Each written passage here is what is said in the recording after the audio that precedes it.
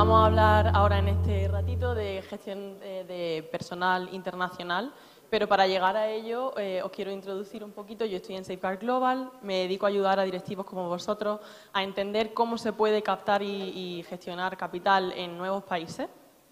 ¿Y qué vamos a hacer en esta eh, ponencia? Que por cierto son 10 minutos y para que Alberto no me regañe tengo el reloj aquí. Empezamos ya, ¿vale?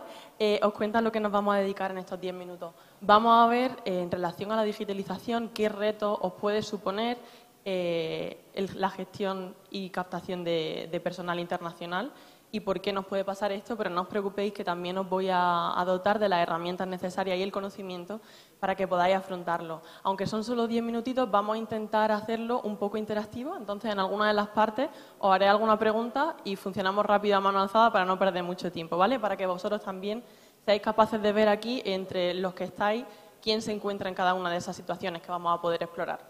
Bueno, ¿Qué reto nos acarrea la digitalización dentro de la captación y gestión de capital humano? Como Francisco decía, eh, no solamente vemos aspectos positivos en la digitalización, sino que también estamos aquí para hablar de ese aspecto que puede gestionarnos algún tipo de reto.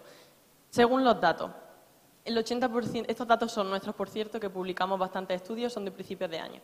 El 80% de los directivos de recursos humanos entiende que el éxito de su empresa pasa por estar presente en diferentes países y el 56, 54% de responsables de recursos humanos y finanzas creen que dentro de cinco años estarán presentes en siete o más países.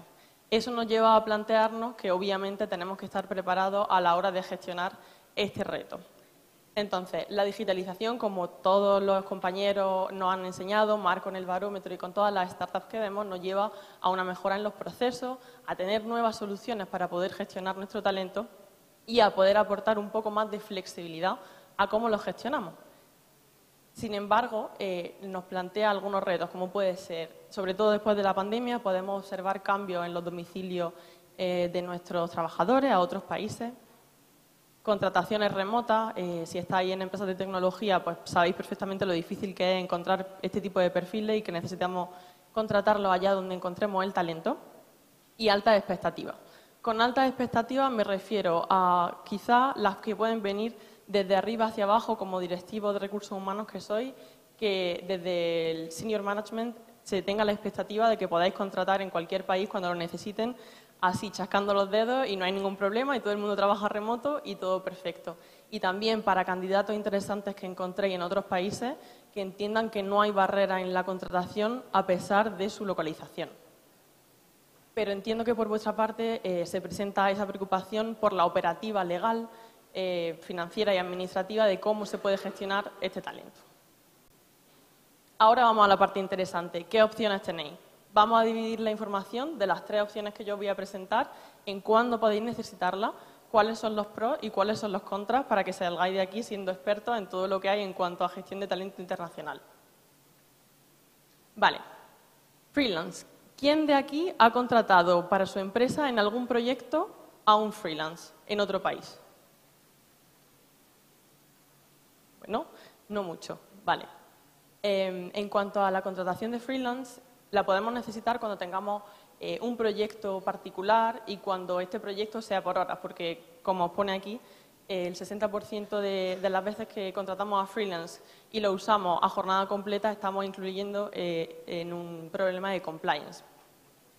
Los beneficios que tienen son la rapidez, porque obviamente podemos encontrarlo fácilmente, y además la flexibilidad para el cambio. Podemos probar a varias personas para ver cuál nos va mejor al proyecto.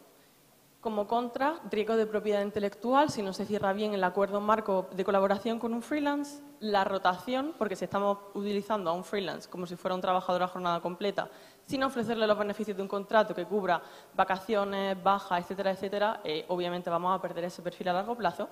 Y luego podemos incluir eh, el riesgo de incumplimiento de pago a la seguridad social que nos puede demandar la seguridad social de un país concreto, así como de alguna demanda por parte de una persona que mantuviéramos a largo plazo porque no le estamos pagando correctamente. Apertura de sede legal. Que levante la mano quien esté involucrado en algún proceso de apertura de sede legal dentro de su empresa para temas de expansión internacional. Vale, Para los que estéis, ya sabéis que eh, supone un poco quebradero de cabeza dentro de las organizaciones y que se le dedica bastante tiempo, como veis ahí, el 10% de los altos ejecutivos. ¿Cuándo podemos necesitarlo? Dependiendo de nuestra actividad económica, es cierto que nos pueden requerir tener una sede propia para poder operar en un país. Pero también puede resultar la opción más ventajosa dependiendo del número de trabajadores que tengamos en un país o si estamos realizando una adquisición o un M&A, como lo queramos llamar, para poder eh, estar dentro de este país y presente en el mercado con un nombre. ¿Qué aspectos positivos nos plantea? Nos plantea la expansión orgánica de nuestra operativa, ya que tendremos nuestra propia operativa y nuestra propia estructura para poder contratar sin ningún tipo de problema y la autonomía en esa operativa, es decir, no depender de terceros para tomar decisiones ni ejecutarlas.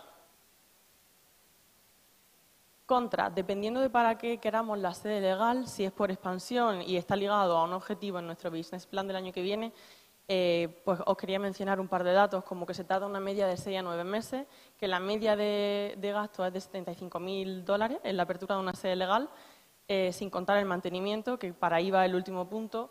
Necesitaréis un equipo legal y financiero o una asesoría en cada uno de los países si no tenéis un equipo local presente para poder eh, mantener la operativa y poder gestionar toda la documentación. Y ahora voy a pasar a hablar de una opción que creo que es la que menos se va a conocer. De hecho, eh, antes de pasar a la siguiente, por favor, que levante la mano a quien no le suene de nada el término Employer of Record. A quien no le suene de nada. Casi todo el mundo. Muy bien, vamos a verlo. Employer of Record, eh, ¿qué es? Antes de empezar a hacer ese análisis que seguíamos viendo en las otras opciones. Es la opción que nos permite contratar de manera legal en un país donde yo no tengo una sede legal. ¿Vale? ¿Cuándo puedo necesitarlo? Cuando quiera explorar nuevos mercados, tener un perfil de venta o comenzar una operativa en un nuevo mercado en el que yo quiera estar presente cuando quiera permitir la contratación remota para poder contratar el talento allá donde lo encuentre sin importarme el país y no ponerme esa barrera en, los filtros de búsqueda de candidatos. Cuando quiera convertir lo que hablábamos anteriormente, tengo un freelance y a un perfil que yo quiero mantener y quiero tenerlo legalmente contratado, puedo convertirlo mediante Employer Record. Y adquisiciones. Aquí pueden verse diferentes casuísticas. Puedo adquirir una empresa y puedo adquirir eh, la sede de, o sea, perdón, los empleados, los clientes, la base de todo, pero quiero prescindir de la sede legal porque es un coste que yo no quiero asumir.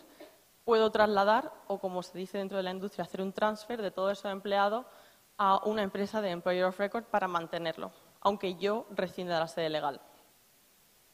Ventajas que nos ofrece. Rapidez. En 15 días podéis tener a esos trabajadores internacionales dados de alta de manera legal flexibilidad en el sentido de que el empleador legal es la empresa de Employer of Record, con lo cual vosotros sois los ejecutores que le decís, quiero a esta persona contratada, quiero prescindir de ella y tenéis flexibilidad total para manejar a vuestro personal.